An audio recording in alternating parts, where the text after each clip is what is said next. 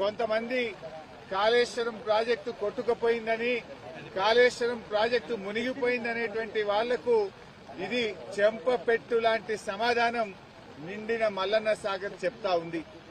ఏదైతే కాంగ్రెస్ నాయకులు లక్ష కోట్లు వృధా అయినాయని కాళేశ్వరం ప్రాజెక్టు పోనే పోయిందనేటువంటి వాళ్ళకు నిండుగా ఉన్నటువంటి గలగలా పారుతున్న గోదావరి జలాలు కాంగ్రెస్ నాయకులు చెప్పేది అబద్దం అబద్దం అబద్దమని ఆ జలాలే ఈరోజు సమాధానం చెప్తా ఉన్నాయి. నేను అడుగుతా ఉన్న కాంగ్రెస్ పార్టీ నాయకులను ఇలా కాళేశ్వరం కొట్టుకపోతే ఈ మల్లన్న సాగర్లో ఇరవై ఒక్క టీఎంసీల నీళ్ళు ఎక్కడి నుంచి వచ్చాయి అని నేను అడుగుతా ఉన్నా.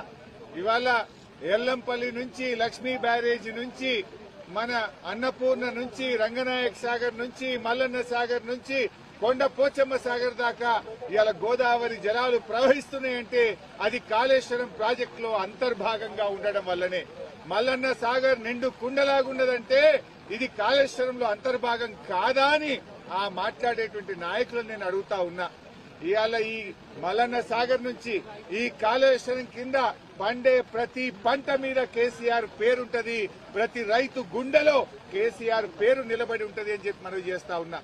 ఇప్పటికైనా ఆ కాంగ్రెస్ నాయకులు కాళేశ్వరం కొట్టుకుపోయిందనే మూర్ఖపు మాటలు మానుకోవాలని నేను వారికి హితవు పలుకుతా ఉన్నా.